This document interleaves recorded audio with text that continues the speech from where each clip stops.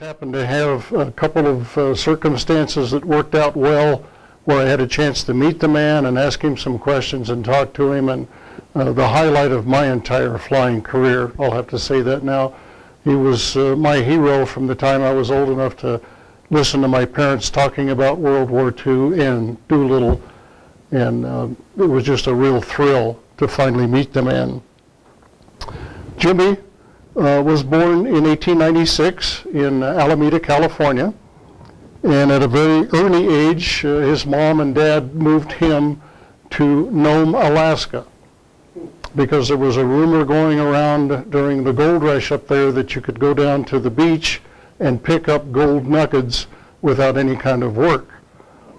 When they got up there, they found out that that wasn't necessarily true. And Jimmy's dad decided that since he was a good carpenter and he knew how to build furniture, that maybe there was a job for him there. So that's what they did. Jimmy started school, of course, when he was four or five years old.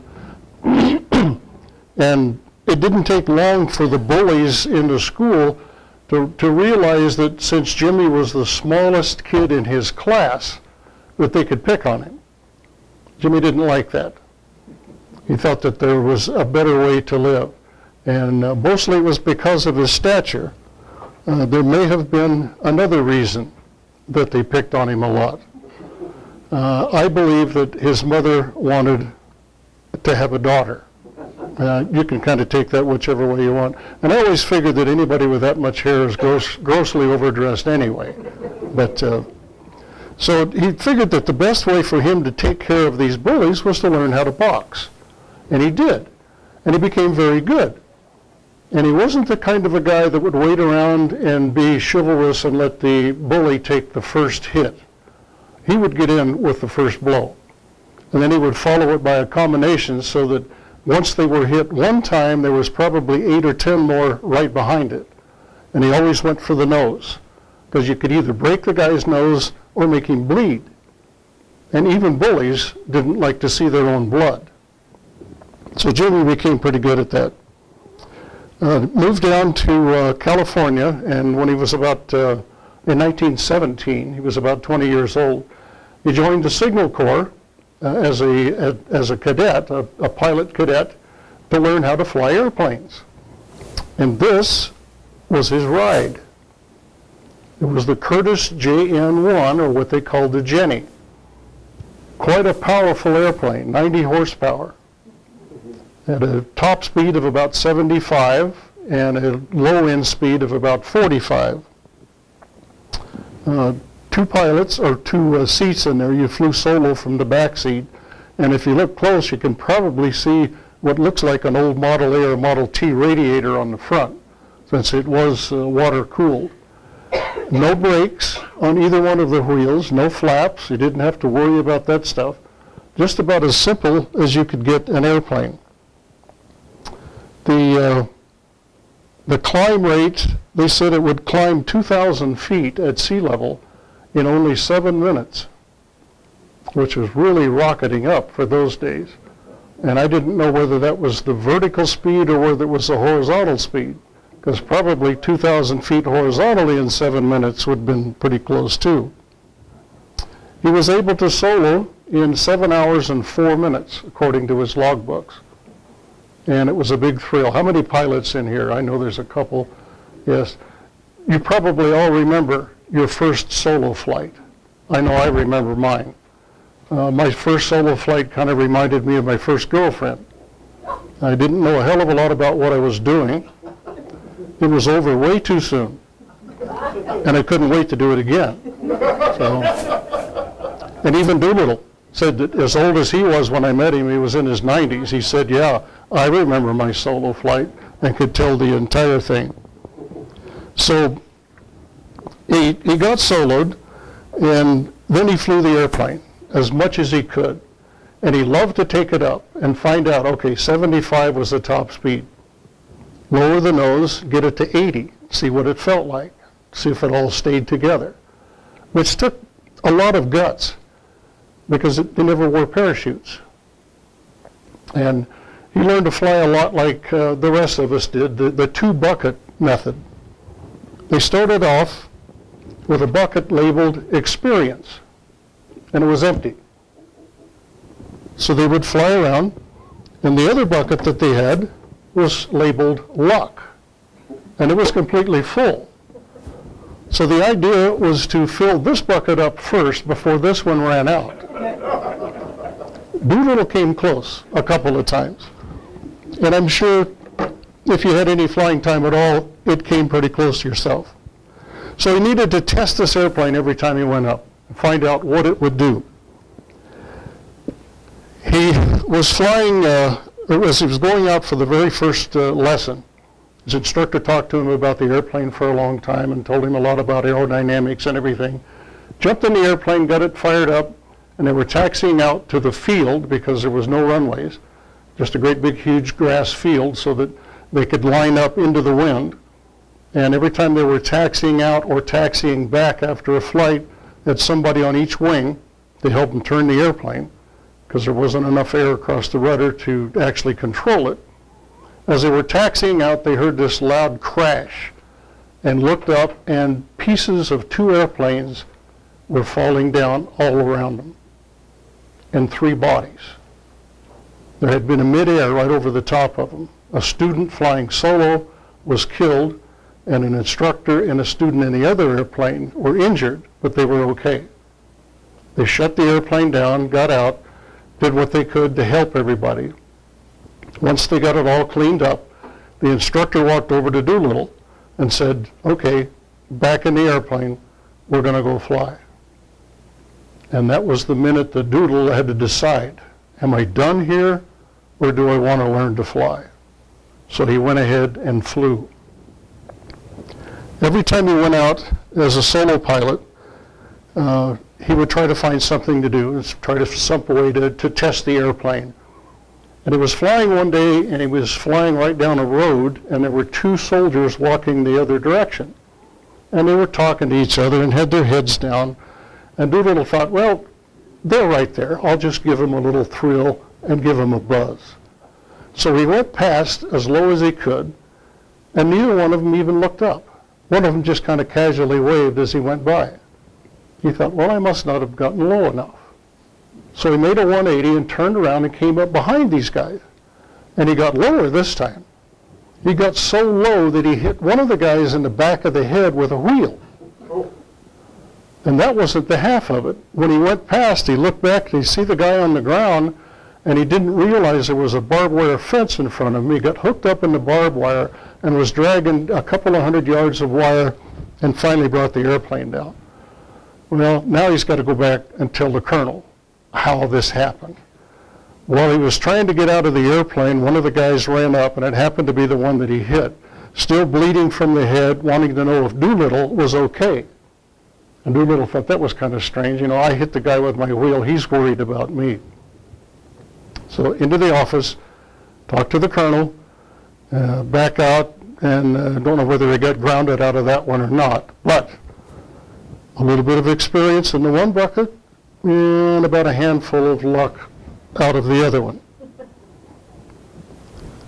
One of the things that they loved to do was chasing ducks, because they found out that the ducks around San Diego were just about the same speed as the Jenny. So they could find a flock of ducks, get up behind them, and then cut one out, almost like a cutting horse. They would cut one of the ducks out and then follow the duck. Whatever the duck did, they had to stay right on its tail and do it. And one of them was a little smarter than Doolittle was. Took him up a blind canyon, and Doolittle was just bore-sighted on that duck. He couldn't see anything else. All of a sudden, the duck made a left turn and went diving out, and there was Doolittle at the end of the canyon, too narrow to turn around and running out of altitude, airspeed, and ideas all at the same time. As he got up to the end, of the canyon, he thought the only thing I've got left for me is to pull the yoke back as hard as I can, take that last bit of airspeed, see if I can pop over the top. Well, it worked about halfway. From his cockpit forward, they made it over the top. The rest of the airplane he left on the other side. Now he's got to go back tell the colonel about this one too.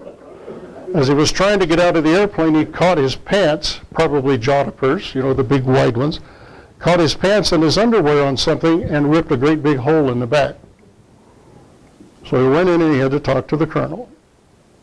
Colonel just chewed him out right and left, you know, after he found out he was chasing a damn duck in a $10,000 military airplane. Uh, he was dismissed, and instead of just making the facing movement and getting out of there, he took one step backwards, trying to get closer to the door. Saluted, then he thought, I've got to do it. Turned around, went out the door, and there's his bare butt hanging out. The colonel thought it was a message for him. When he got out, uh, he actually had to come back up, and the colonel had to chew him out some more, and then he got to leave. But on the way back to his barracks to find out uh, or find some more clothes to wear, he was able to show the other guys how much he had gotten chewed out. Because look at this. You know? he worked for a while for the Army in uh, southern Texas, helping them chase Pancho Villa. And every time they would go out and every time he would fly, he would go past the El Paso River. And there was a bridge over the top of the river, way, way high, and it was called the High Bridge. And he kept looking at that bridge, but there were two supports holding that bridge up. And he looked at it, and those supports were too close for the Jenny to fly underneath of the bridge. And for some reason, pilots have to do this, I don't know. But he couldn't get through there. And finally, one day, he thought, I know how to do this. So he headed right straight underneath of the bridge, got right up real close, rolled it 90 degrees, slipped through, and came back out on the other side.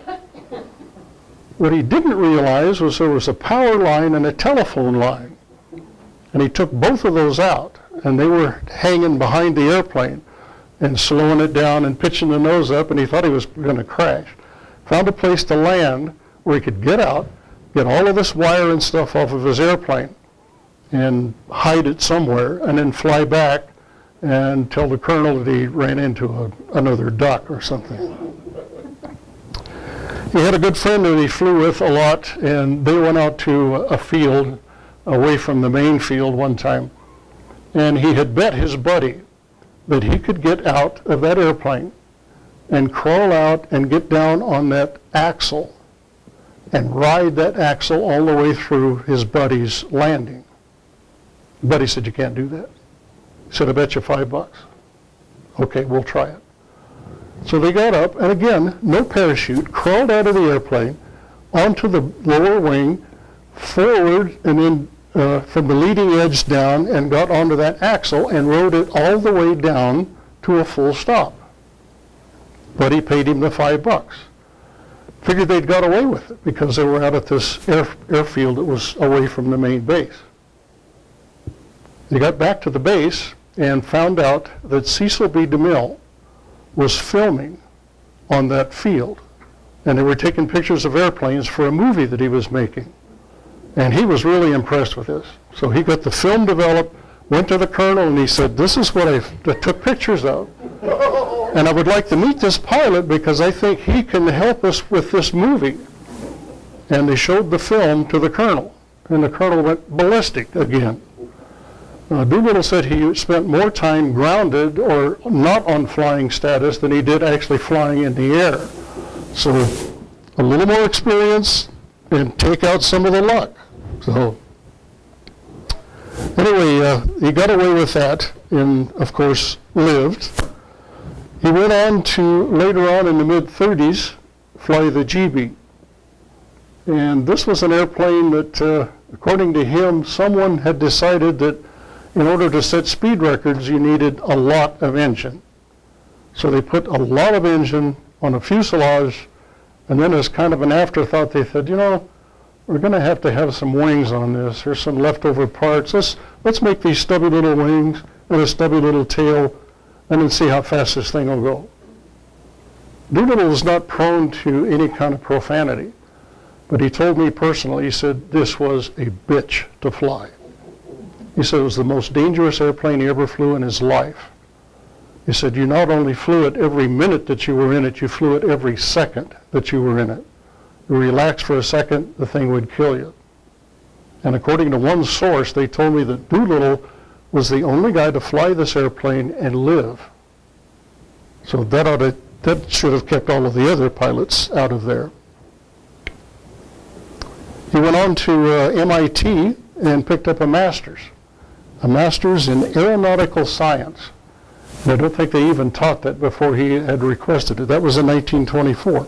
The next year he went back, same subject, and got his doctorate. So now all of a sudden he's Dr. Dolittle, way before it came out in movies. He worked for Shell Oil until 1940, and then the Army decided that they would take him out of the reserves and put him active uh, because they knew that they were going to need him somewhere, either in Europe, and at that time they didn't know about the South Pacific. So he back into back into the regular Army. In the reserves, he was a first lieutenant. When he went into the Army, they made him a major. So Doolittle was never a captain. He also was never a full bird colonel, but that's later on. He was the first man to make a blind takeoff and landing. He had worked with a guy named Sperry, and they built an artificial horizon for him. Put the whole thing into the panel where he had uh, altitude and uh, navigational aids and everything else in there. Put a safety pilot in the front cockpit and flew the airplane around, actually got into the clouds, and the guy in the front, all he could do was sit there, not touch anything, and hope that the guy in the back knew what the hell he was doing. Came back in, found the runway, landed it, and it was still just like this, had the hood over it the whole time. No controllers, no GPS, no coffee service. And of course, the one thing that he was most famous for was the raid from the USS Hornet. I don't know whether you can see it, but they, they got this out of one of the back rooms today. It's got the 16 B-25s on it. It's the Hornet. Has the two white lines down the side that they use to put the left main and the nose wheel on to keep the wingtip on the right side out of the bridge or the, uh, the, the tower.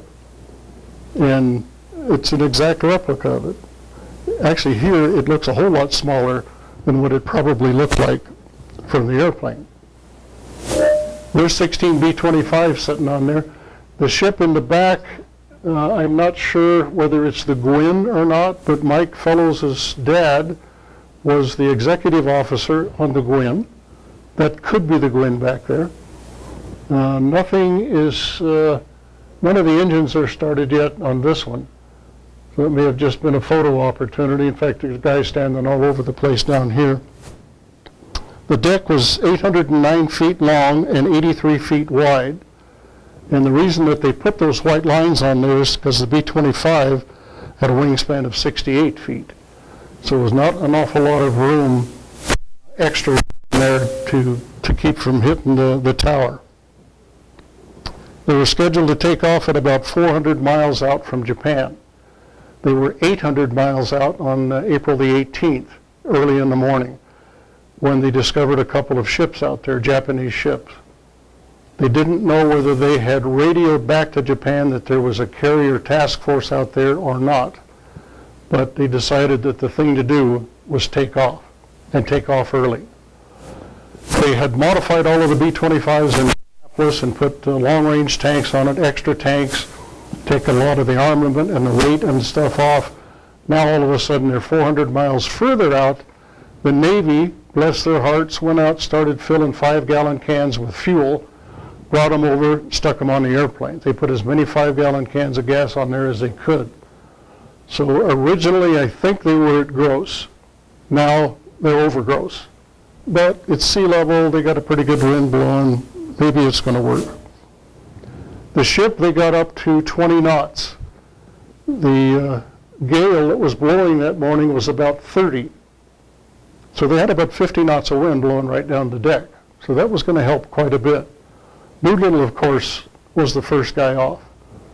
Here you can see this one's got both engines running, and I think the next one there's got the, uh, the right engine running, and the other one hasn't quite started up yet.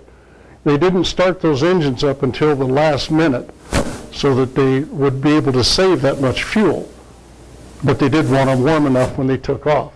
The Navy had told them because uh, the Navy had put all of their airplanes below decks, folded them up, got them downstairs, and they told them that if they were attacked, the first thing that the Navy would do is to push all of those B-25s overboard, every one of them, so that they could get their airplanes out and protect the rest of the task force. Doolittle was first. And if you'll notice, the nose wheel is right on the white line. That's, that's Doolittle. Right on the white line. And the other line here is for the left main gear. This is the launch officer out here. The guy in the cockpit's watching him, and he's giving him the signal to bring the engines up. They had little, uh, little skinny levers, and they had the two little balls on the top so that you didn't cut your hand. When you got those all the way forward up against the instrument panel, it was balls to the walls. That's where the term came from. So he kept giving them this, and they were balls to the wall. Bill Bower, who was the number 12 pilot, and Doolittle, both of them told me that they almost bent the levers trying to get that thing up just as far as they could go. The launch officer is watching them, and in this one, he's watching the bow because they're getting, uh, the bow's going up 10 to 25 feet. And he's watching it. And when the bow came all the way to the top, he gives them the go sign and drops to the deck. So as they're starting to roll, he's got the yoke all the way back, and he now, the, the deck is coming back down, so he's rolling downhill a little bit. And about the time it was ready to rotate, the, the bow was coming back up, so the deck gave him a little bit more of a push into the air. And with full flaps and 50 knots of wind, they only had to take 10 or 15 more miles an hour, and they would be in the air. This is just as he was about to lift off, and he's real close to the end of the deck, still with full flaps. There, it looks like he's got a heck of a good rate of climb, but the airplane is climbing, but the bow of the ship is going back down also. So for 53 feet uh, from the nose to the tail of the airplane, and they're just about, eh, I would guess, maybe 50 feet off of the deck.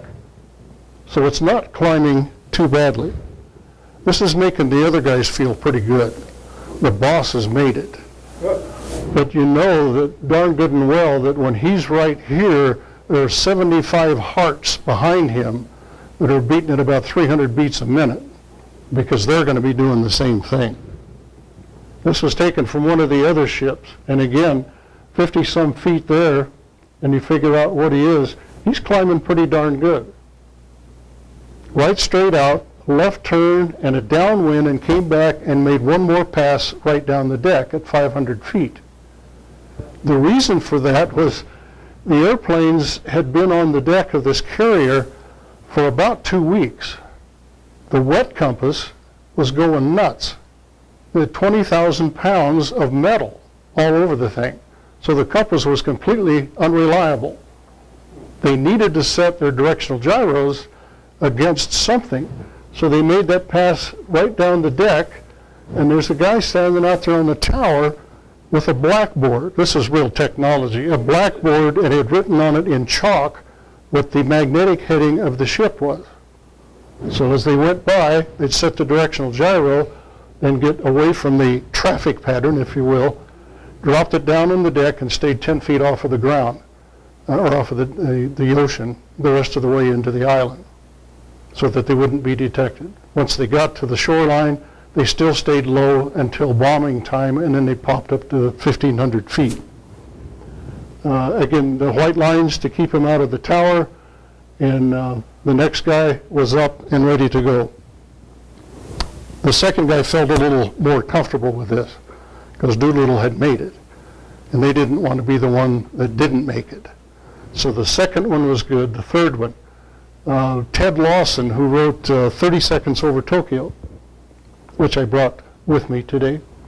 Uh, Ted Lawson, and I just happen to have uh, a page in here that has all of the survivors of the Doolittle raid, and this was several years ago because they're down to two now. Uh, Ted autographed this for me, and uh, and I was able to keep it. Ted and his wife Ellen both. He was in the number seven airplane. Went through the same thing. Got off of the deck, and as the deck came down, He's flying, and then the deck came up, and the airplane disappeared. Couldn't see it. It was right down on the water. The deck came back down again, and there he was. He was still staggering along trying to fly. He finally got flying speed out of it. Lawson called to his co-pilot, said, flaps up, and he looked down and he said, we never put him down. So Doolittle proved you could take off from a carrier with full flaps and all of that extra lift. Lawson proved you could do it without flaps and would have preferred not to do that. The thing that made me curious is with all of the people in all of those airplanes and all of the Navy guys running around on the deck, why didn't somebody see that they didn't have the flaps down and walk out there and go, you know, make some kind of a motion to get the flaps down? But they were able to make the takeoff. All that extra fuel in there. They told them when they left, uh, use the fuel out of the five gallon cans first, but when a can is empty, don't throw it overboard because that would leave a nice trail of breadcrumbs for the Japanese to go right back out and find the carrier. And only doing 20 knots, was going to take a while for them to get back to Pearl Harbor. So uh, wait, hold all of the five gallon cans and dump them all at the same time. So that was the way that was going to work. As soon as the last airplane was off, they made a hard left turn and they took the whole uh, carrier or the task force back to uh, Honolulu. Um, it was something else I was going to say there. Anyway, they went back uh, back to Honolulu. The uh, all of the flight plans of the 16 airplanes. Oh, they got all 16 airplanes off according to the Hornets logs in 61 minutes, which isn't bad. Uh, shows what you can do if you don't have to mess around with air traffic controllers. uh, anyway, all of the routes of these 16 airplanes into the Japanese island, they didn't want them all to be the same so that everybody was in a nice, great, big, long line because it wouldn't take a, a mental genius to figure out right straight behind that line is where the, the carriers were. So everybody had a different route to go up there. It looked like a bowl of spaghetti when you looked at it because some of them would go way off to the west side and then make their run back uh, toward the east across their target. Somebody else would go some other direction and come back in. So it was all over everywhere. They told them that uh, once they got to their targets, drop their bombs and make a left turn and head toward China because they were off so early, they were going to wind up over China in the middle of the night instead of early morning. So no daylight, everything was dark, they were in a storm, it was going to be ugly. They took all of the Norden bomb sights off of all 16 of these airplanes. And what they had was a small piece of plastic, about so long, and across the bottom there was a little hump on it, and they had marked off ground speed. Now, the altitude was taken out of the equation because everybody bombed from 1,500 feet. So all you had to do was figure the angle between your airplane and the target and figure your ground speed. So this little piece of plastic that cost them, I think, something like uh, less than 18 cents a piece, mounted on the side of the, the bombardier's compartment up in the nose. If you were doing uh, really, really fast, then the angle had to be a little less so that you could look right down the top of it, and when you saw the target sitting on the end of that, that's when you let the bombs go. If your ground speed happened to be slower, you didn't have to drop them earlier, so it was turned down a little bit more. And that's all it was. Very, very simple. And one of the guys had figured this out and made these 18 cent things. Uh, Tokyo, Yokohama, Yokosuka, Kobe, and Nagoya were the ones that they uh, had all bombed. The only close thing to a fatality on the carrier deck was the number 16 airplane, which is the very last one on the end, the last one to go. Because of the 50 knots blowing down there and the prop wash from all of those airplanes and everything, it blew one of the sailors into the prop of the number 16 airplane, took his arm off. But he lived. And they went ahead and ran the engines up, and it didn't feel like the prop was uh, going to vibrate or anything, so they went ahead and took off. Bill Bower, Uh, was a man that I met that got me hooked up with Doolittle, lived in Boulder uh, for many, many years as a retired full-bird colonel.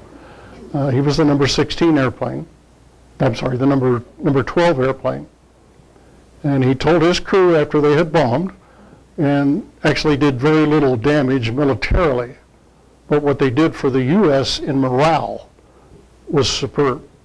Uh, savings bonds uh, sales went up and war bond sales went up and people were happy for a change because in the 131 days since Pearl Harbor until they got off of the carrier, the Japanese had pretty well done whatever the heck they wanted in the South Pacific. So it was a real boon to American morale. For the Japanese, it went the other way. All of a sudden, for the first time in its history, somebody had attacked the island. So they started bringing carriers back. They started bringing airplanes back, bombers back from different bases, uh, bringing troops back because they knew that the island had to be defended now. So it took that away and took it out of the equation uh, for the guys that were out there fighting on, on, the, on the islands. Bill told his uh, crew, he said, we're going to fly this pig until it quits. He got up as high as he could thinking maybe they could break out on the top of all of this storm and stuff. They never did. So they just stayed on instruments. And pretty quick, sure enough, one engine quit. And they knew that the other one was going to be right behind it. About 30 seconds later, the other one quit. Bill rang the bailout bell. And I asked Bill one time, I said, were you scared when you jumped out of the airplane? He said, nobody jumped out of my airplane. Jumping out of airplanes is for sport parachutists and paratroopers. He said, every one of my guys were down on the floor. They slithered all the way back to the open bomb bay door, slid over the side, maybe held on for a few more seconds, and then they let go.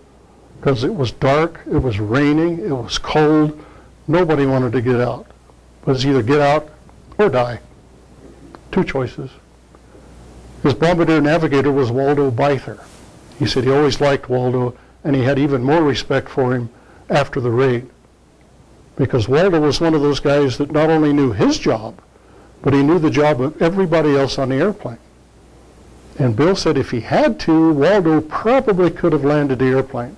Not pretty, but he could have got it down and saved some lives. Waldo was crawling back to get out of that bomb bay door. And he popped his parachute by catching his D-ring on something in the airplane.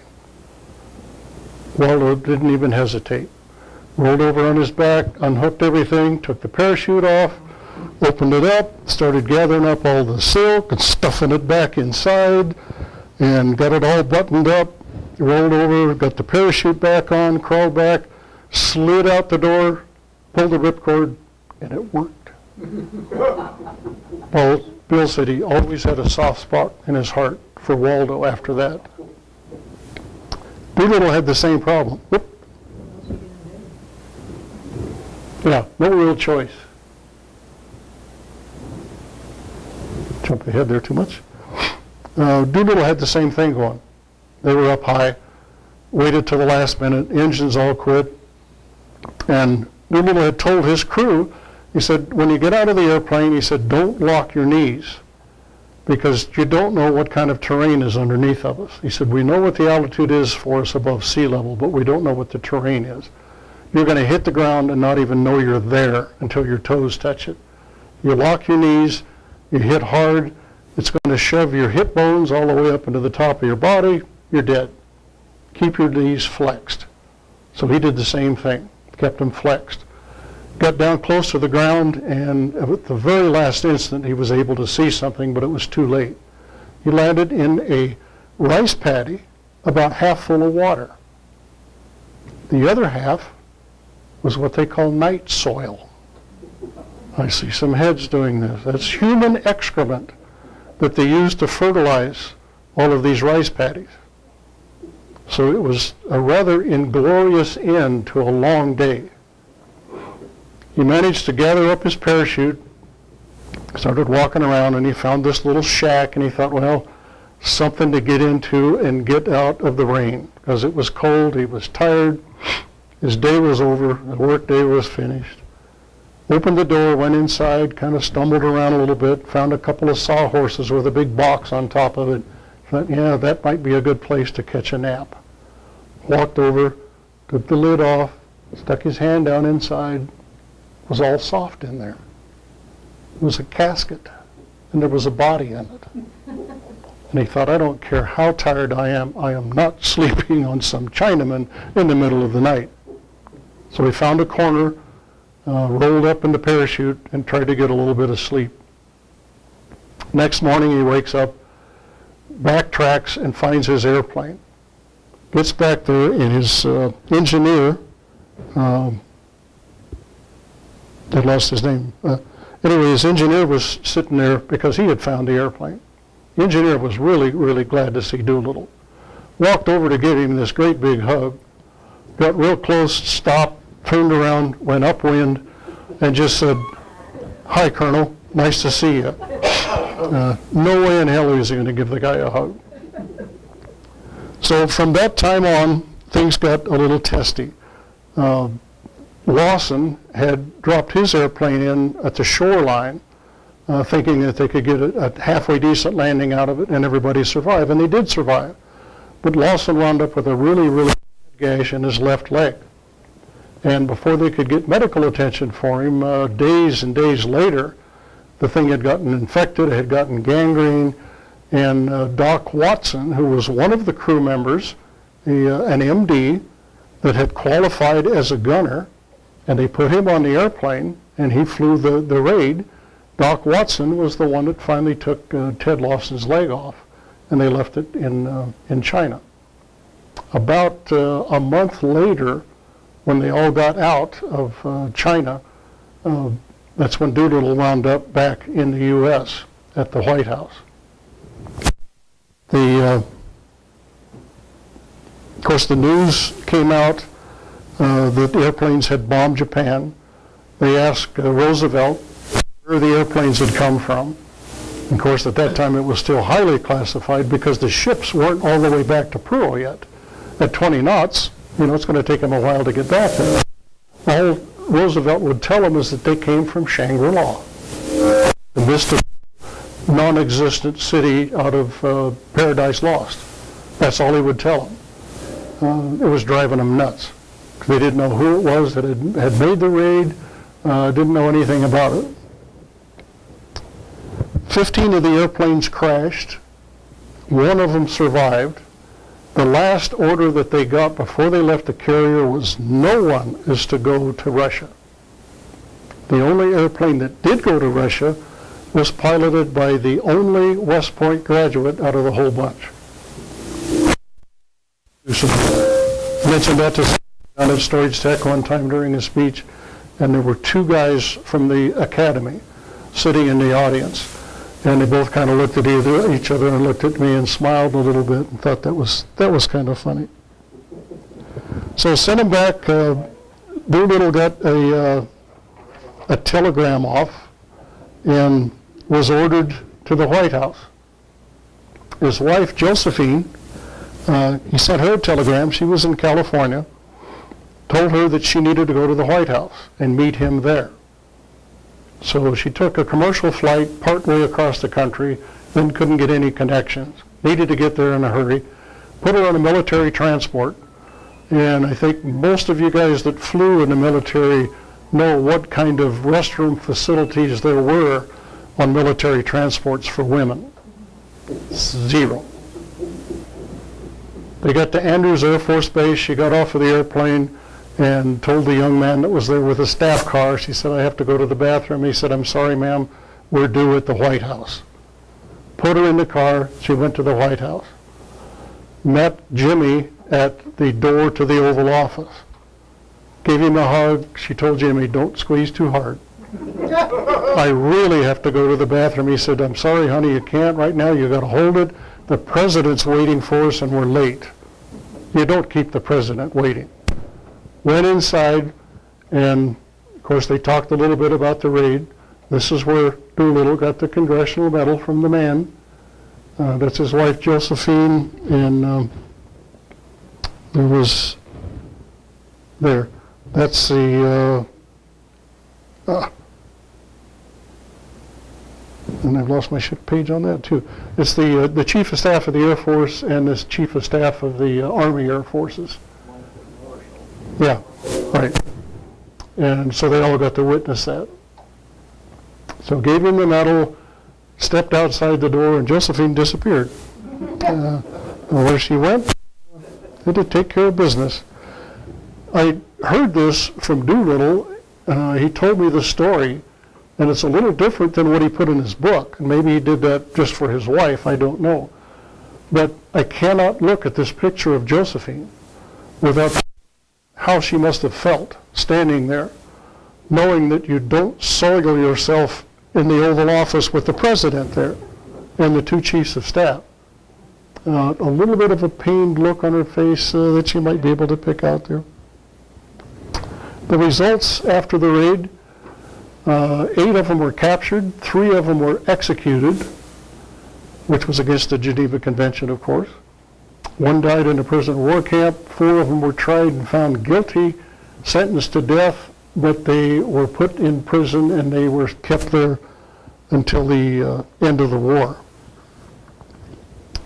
Now, I'm going to come away from that for just a second and go to this. This is a, uh, a painting or a print of a painting, and this was selected by the Doolittle Raiders Scholarship um, Committee to be the the main picture that they would sell for the Doolittle Scholarship Fund. This went to several reunions, and the names of the surviving crew members were on here. Uh, Doolittle's is right here. Uh, the one that none of these uh, were autographed by was Ted Lawson because he never went to any of the reunions. And one year, Bill called me and he said, the reunion's coming up in a couple of weeks. He said, and it's in California. After the reunion, I'm going to go to Chico and I'm going to visit Ted Lawson and have him autograph some of this stuff. And if you want anything autographed, let me have it. So I gave him this and these two books and another couple that I have at home. And we got Ted Lawson's uh, signature on it before he passed away. Ted and, uh, and Ellen. This, I never did really like it too much because this is Doolittle's airplane uh, by checking the uh, tail number on it. I think it's too low, too far out from the carrier, but nobody asked me. anyway, uh, I bought this, pardon? I thought you said they went down to 10 feet. That's after they. After they, after they made it pass at 500 feet. So this is probably still in the climbing phase. Uh, well, they made that pass, and then they would make a right turn away from the carrier because there were other guys taking off behind him.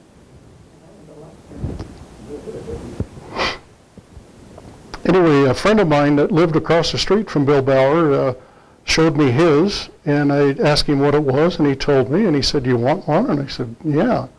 He said, "We'll go across the street." He walked across the street and introduced me to one of Doolittle's Raiders, uh, the only guy that uh, lived in Colorado. And there were 125 apiece. I bought three of them, and everybody I showed it to wanted one. So within about a year, I had sold over 20 of these to friends of mine at StorageTek and, and every other place that, uh, that I took it. Uh, shortly after that, my wife, Janet, at the time, we were going to San Francisco for a weekend, and I thought, uh, you know, I'll call Bill.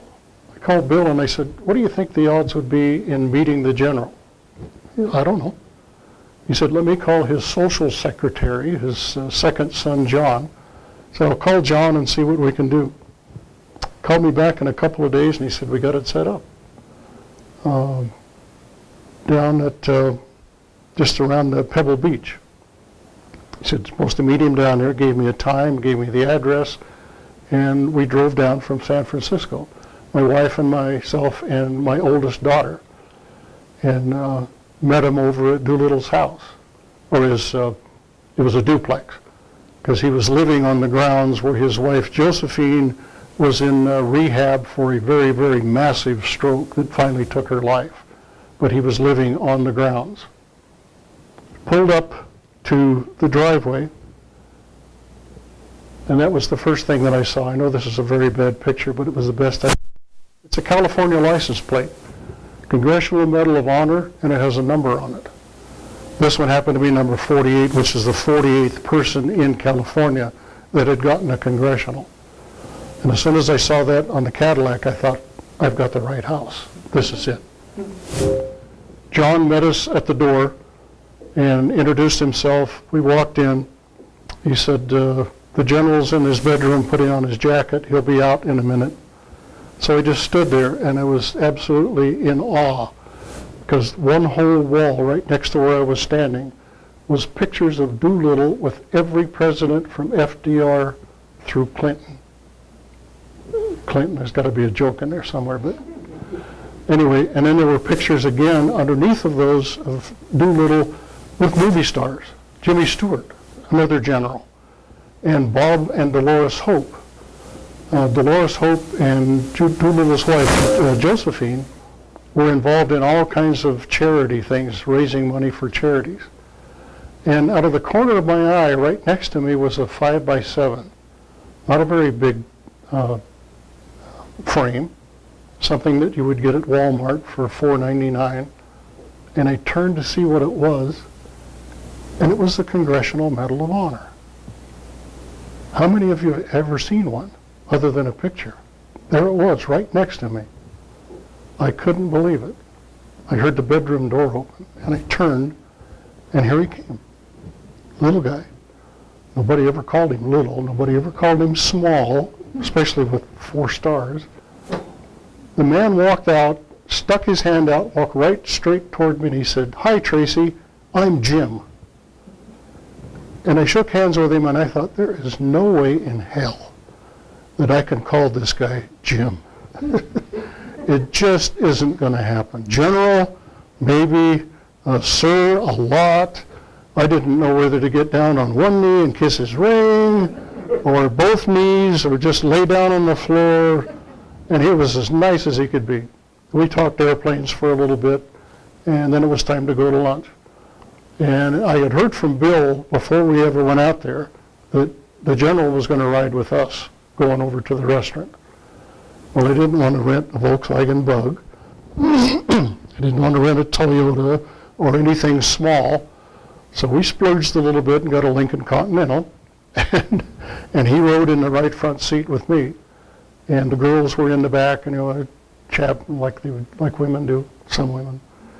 And um, I don't remember ever driving a car any more carefully than I did that day.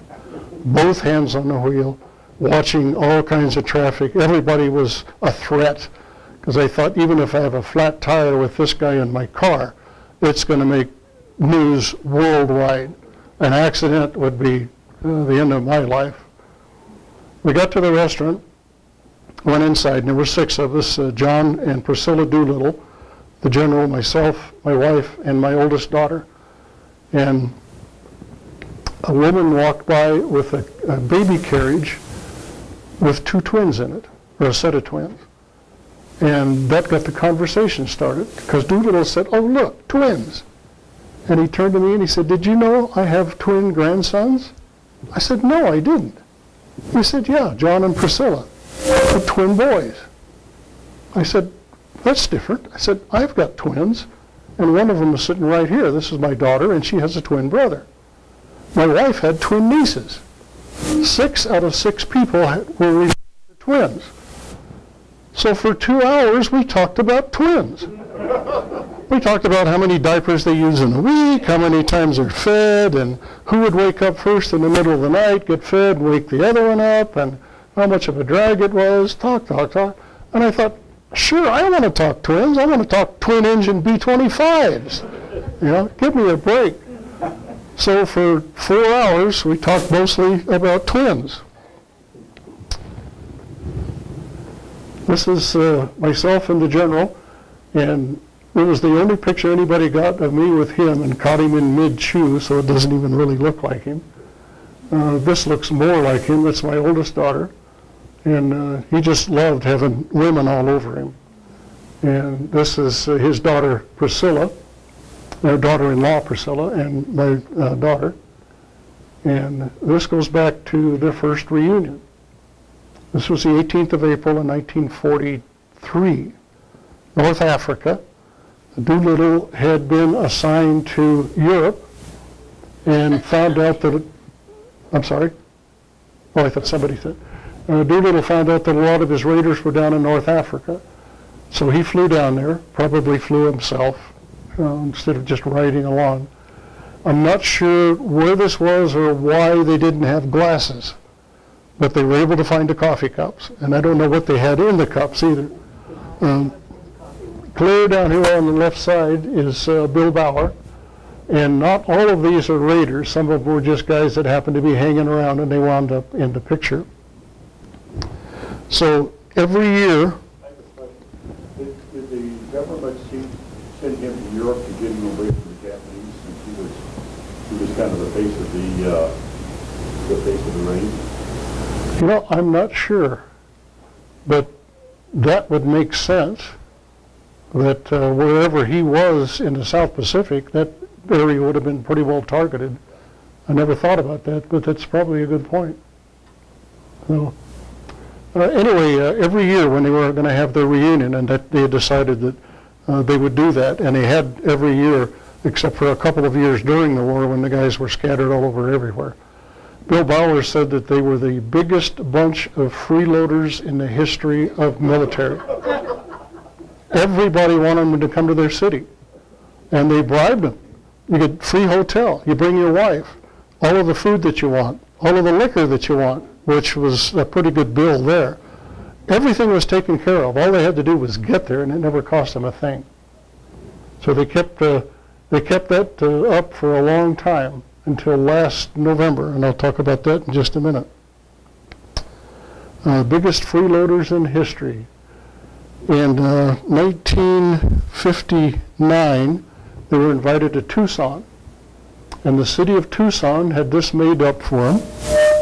It's uh, a, uh, a three-position box, and it folds up and closes up. Uh, This is stored at uh, Harmon Hall at the Air Force Academy, It's still there. Uh, The cadets were able to get in, and before they took this to the reunion, they would have to turn some of the goblets over. These were all solid silver.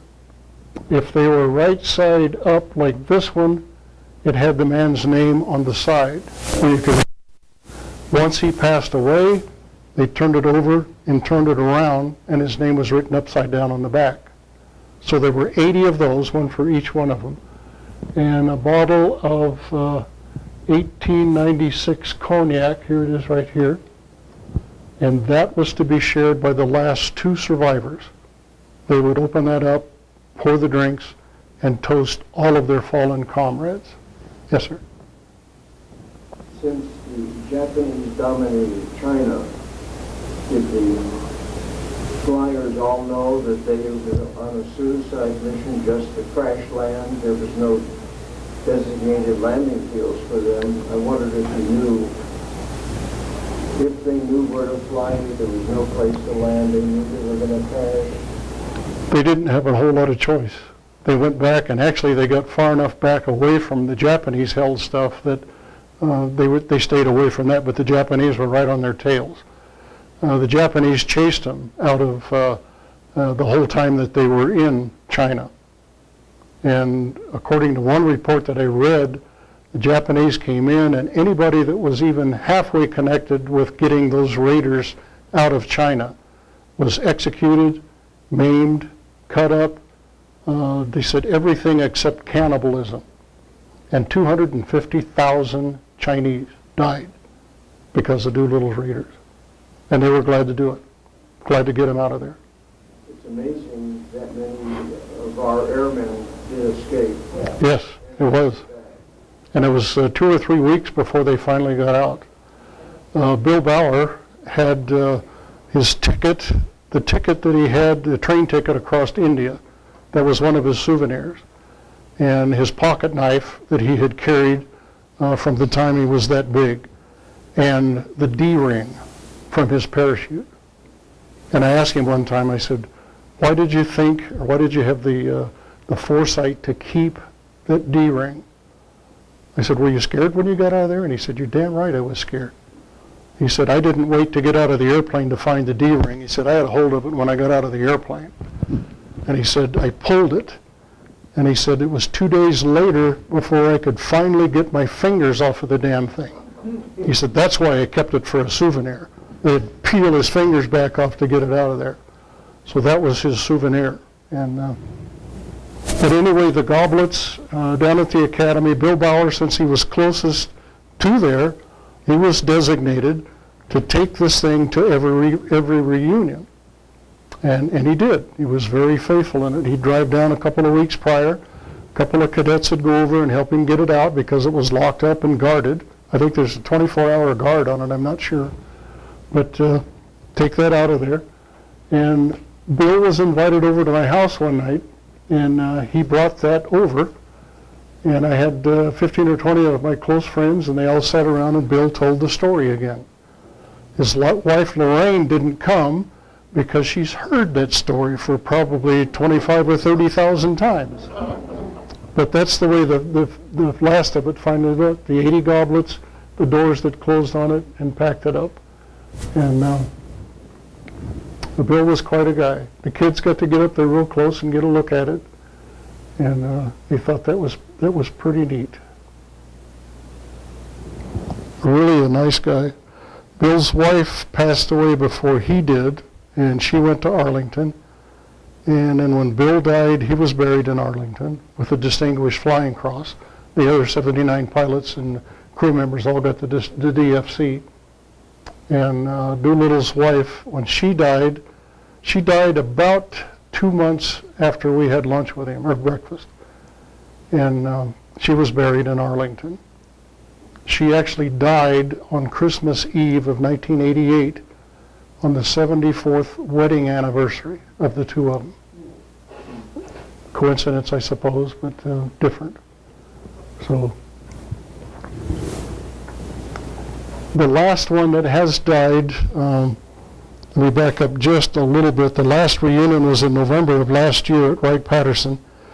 They had uh, three of the four guys there, Dick Cole, who was Doolittle's co-pilot on airplane number one, uh, Dave Thatcher, a sergeant, he was Ted Lawson's engineer on the ruptured duck, they called it, the number seven airplane. Ed Saylor, he was the engineer on the next to the last airplane, number 15.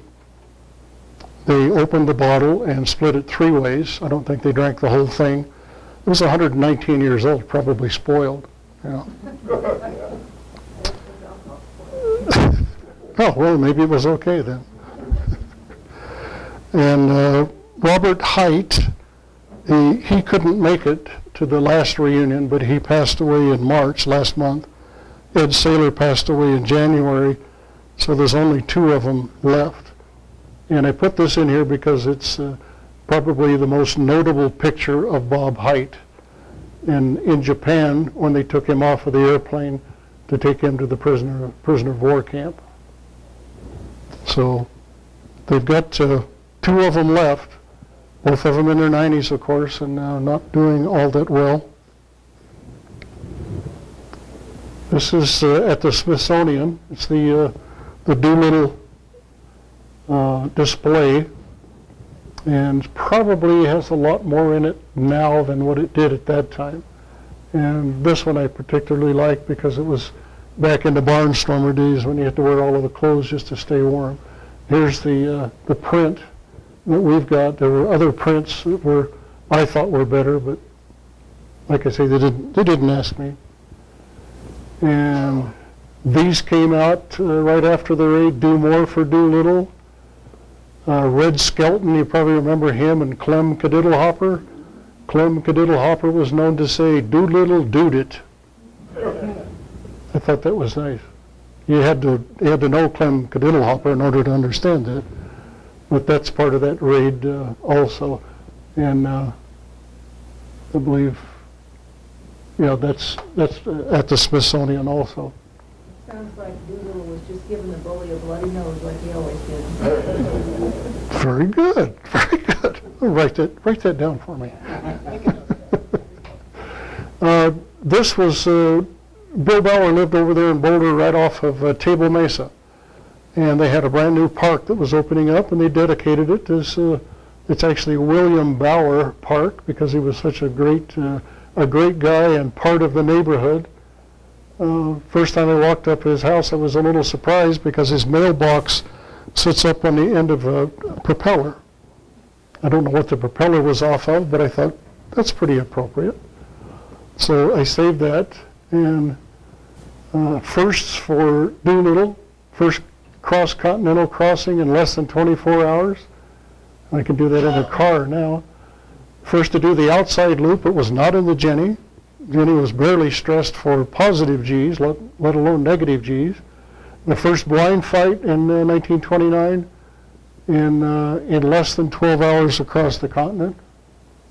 And the career summary, you can't read that, but it goes through his Air, Air Corps time, 1917 to 1930, and it was the Air Corps up until, I think, 1949, when the Army Air Corps got their divorce from the Army. That's what they told us in basic. Uh, was Forty-seven. 47? Okay, you're right. Uh, Lieutenant Colonel and Brigadier General, he was never a full colonel. Uh, Commanding General of the 12th Air Force in North Africa and in Italy and England for the 8th.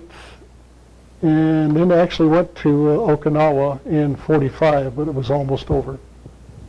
A lot of time with Shell Oil Company. In fact, uh, he had a nice retirement from Shell Oil. When he retired from the Air Force, uh, they sent him a retirement check. He didn't want it. He sent it back. Well, that was going to screw up their book, so they sent it back to him again. He said, there's no way I'm going to live off of the, excuse me, the government tit. And uh, didn't. Every month when he got that check, it went to his son, who took it and uh, got it endorsed, gave it to charity.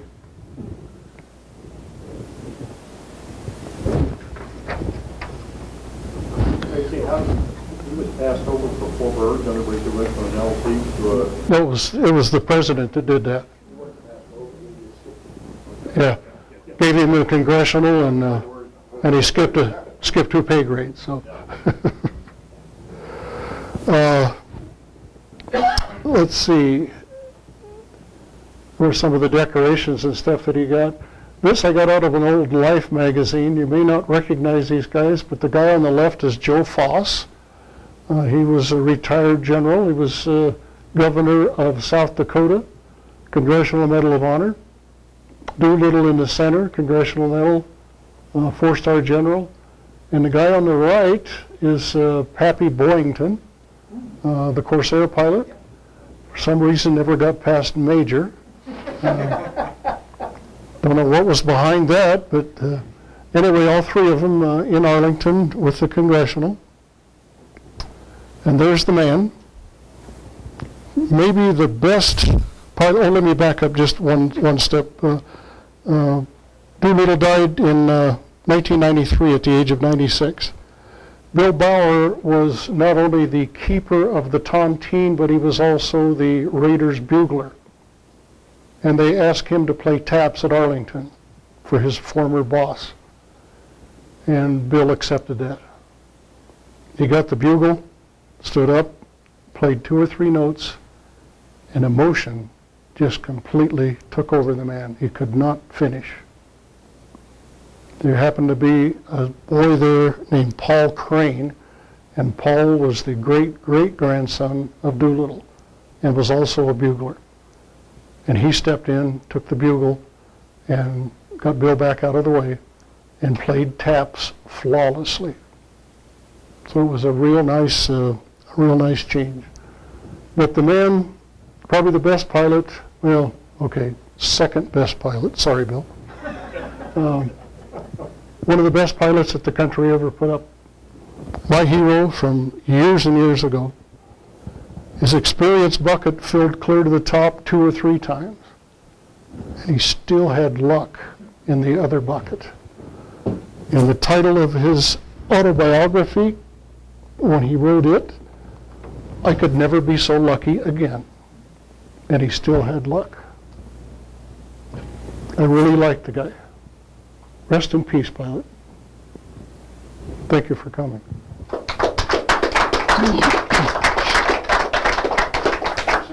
Yes, sir. book of uh, you read that? I think I saw the movie, but. About little graders. Uh, uh anyway, my question don't remember reading the book or uh, the movie. The movie I'm thinking of was uh, World War One. So Well, there's, there's two, there's two libel, uh, books.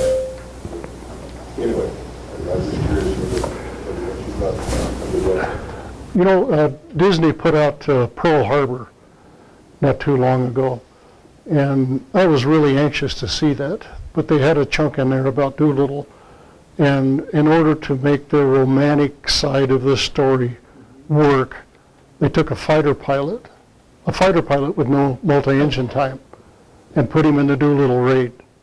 Never happened. I was so disappointed over that, and I, I guess I spoil the movies for my wife a lot because I'm looking for the little technical things that, that shouldn't be in there. And uh, taking a fighter pilot and putting him in a B-25 isn't happening. Any other, any other questions? Yes, sir. Uh, Tracy, I don't know if you know, but how the heck did they refill the fuel tanks on the B-25 in flight from five-gallon cans? They had uh, a, uh, a place in there just for that reason, uh, when they put those extra tanks in in uh, Minneapolis. Of course, nobody knew what they were in there for. In fact, nobody knew where they were going except Doolittle until they got uh, two days out to sea out of uh, San Francisco. But there was a, a place in there where they could unscrew the cap. Of course, the smoking lamp was out uh, for you Navy guys. Um, That means that you can't smoke uh, for your non-Navy guys. But there was a place back there that they could uh, dump the fuel in and carefully, and then throw the empty can in the back of the airplane somewhere. So it, it got, got them a few extra miles out of it. So they were a little further into the storm before they quit and everybody had to get out. And some of us in here even know what it's like to have an airplane run out of fuel. I won't point anybody out, but, uh, do you have another? Well, you had mentioned, I think, also something in one of the write-ups that Doolittle was concerned he was going to be court-martialed because had lost all the planes. Yes, he told uh, his uh, crew chief, uh, Paul, or Leonard, he said, uh, he said, I feel really bad, and uh, he said, uh, they're going to get me back to the States. He said, I'm going to be court-martialed, uh, busted in rank, and probably spend the rest of the war in Leavenworth breaking up rocks. And Leonard said, no, I think you're going to get a promotion and, and a medal. And turned out the